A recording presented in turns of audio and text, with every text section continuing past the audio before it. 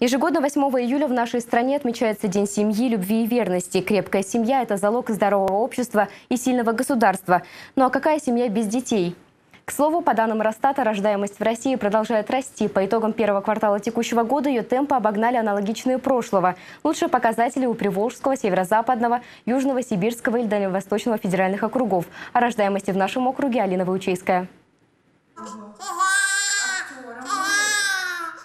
Маленький Дмитрий в своем первом в жизни интервью очень разговорчив. На камеру новорожденный актер демонстрирует все свои таланты. Пока Диму на пеленальном столике наряжают для выхода в свет, за дверью малыша и его маму ожидают взволнованные родственники. И вот он, долгожданный момент.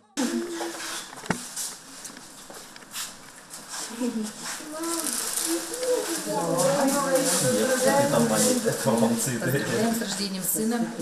В зале выписки новорожденного встречают бабушки, брат и папа. В семье Белишевских Дима второй ребенок. Старшему уже пять лет. Данил очень ждал появления брата на свет, готов делиться с ним игрушками и помогать маме ухаживать за малышом. Но больше всех, конечно же, рад отец Димы.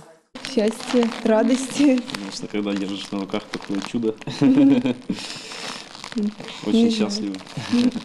В Ненецком округе за июнь этого года родилось 57 детей, из которых 32 мальчика и 25 девочек. Средний возраст мам – 20-24 года. Рождаемость в округе находится на нормальном уровне, отмечают специалисты акушерского отделения Ненецкой окружной больницы. Ежемесячно в округе на свет появляется 50-60 детей. Большей частью, конечно, рождаются дети здоровые. Большей частью за последние полгода родилось 315 детей, 159 мальчиков, 156 девочек.